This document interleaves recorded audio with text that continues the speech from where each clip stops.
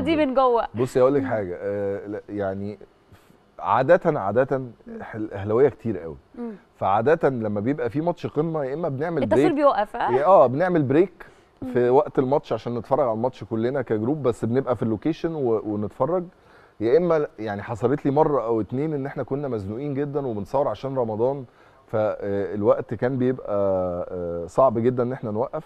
فكان بيبقى عندنا بقى إيه ناس كده بن- بنوقفهم آه، جنب ال- الكاميرات كده ودول بقى معانا على طول إيه اللي حصل كام كام ده يعني بيبقى موقف صعب شوية آه بس بس غير كده طبعا بنوقف التصوير وبنتفرج يعني. طب بتعمل بتبقى مركز في الشغل بقى ولا مش مركز؟ لا طبعا خلاص بتبقى في مرحلة أنت بروفيشنال بقى فطبعا مركز في الشغل بس برضو دماغك مع إيه كل شوية تسأل النتيجة كام عملنا إيه الشوط الأولاني خلص ولا لأ؟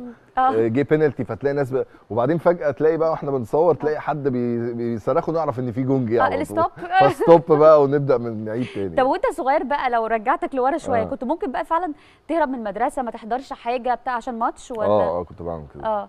ومرة اتمسكت يعني وكده. كتير. ده ك- ده كتير. أنا أصل أنا كنت ساكن في مصر الجديدة فالاستاد قريب. آه. فبنطلع من المدرسة صلاح سالم على طول نطلع على الاستاد نتفرج وأنت داخل البيت كده. شكلك مش جاي من الدرس لا خالص. خالص. آه. آه. لا يعني اتقفشت كتير في في موضوع أنا كنت بحب أروح الاستاد قوي. كنت بحب أروح أحضر الماتشات وأشوف الأجواء وأتفرج على اللعيبة كده لوحدها. في الوقت ده انت كنت؟ من جمهور الأهلي طبعا آه طبعا بتشجع.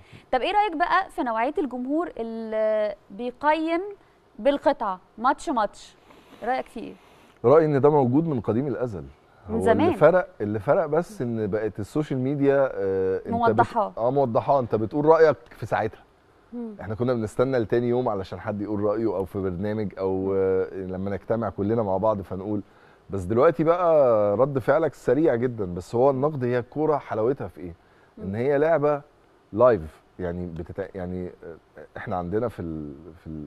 في- مجال التمثيل آه، في بروفات وفي cut وفي نعيد. الكورة ما فيهاش نعيد الماتش بيتلعب ال 45 دقيقة بتوع الشوط الأولاني و 45 دقيقة بتوع الشوط الثاني ولازم تأدي فيهم دلوقتي. مم. فلو الأداء مش كويس هيبقى في نقد لو آه. الأداء كويس هيبقى في مدح. وده. اتعودنا عليه في الكورة يعني آه يعني حاجة خلاص الأسبوع ده الناس بتمدح فيك الأسبوع اللي جاي الناس مش مبسوطة منك.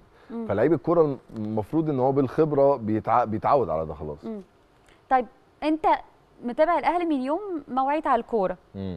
آه، ممكن نقول إيه مين المحترف اللي بتحاسس إنه مش هيتكرر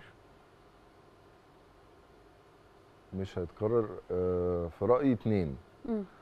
آه، فيليكس. وفلافيو اتنين آه، راسين حربة من الطراز العالي قوي قوي قوي. قوي شايف إن هو مش هيتكرر. مش هيتكرروا لأن هم كانوا آه، كانوا لايقين على النادي الأهلي. يعني ال mentality بتاعتهم شبه النادي الأهلي.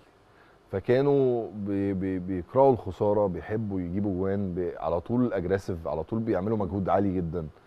آه، يمكن أنا حضرت فيليكس ما حضرتش فلافيو ولكن آه، أفتكر إن فيليكس كان آه، في التمرينات كمان كان آه، كان بيرجع يدافع كأنه back يعني يرجع يدافع يجيب الكورة.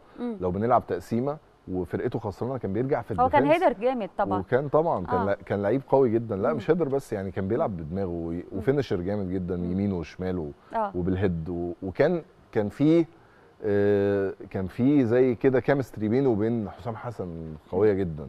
في طب في مين اللعيب اللي ورا الأهلي؟ آه. وكان نفسك آه ان إن يكون في الأهلي. آه، كنت. تلعب مثلا معاه في المنتخب؟ بص آه، كنت بلعب معاهم في المنتخب. آه. بصي أنا بحب الحريفة قوي بحب اللعيب الحريف. آه. فهقول عبد الستار صبري طبعا. عبد آه. الستار صبري كان آه، لعيب حريف جدا وكان آه، آه، كنت بحسه ينفع في النادي الأهلي جدا آه. لأن جمهور الأهلي بيحب ال ال ال- ال ال- اللعيب الحريف. الحريف اللي آه. بيقدر يعدي من واحد واثنين وثلاثه فعبد الستار أعتقد لو كان لعب في الأهلي كان هيبقى ليه صيت جامد جدا. آه. انتهت فقرتنا لكن لسه ما انتهتش بقيه فقراتنا. خليك أوكي. معانا وخليكم معانا ما تروحوش في أي حتة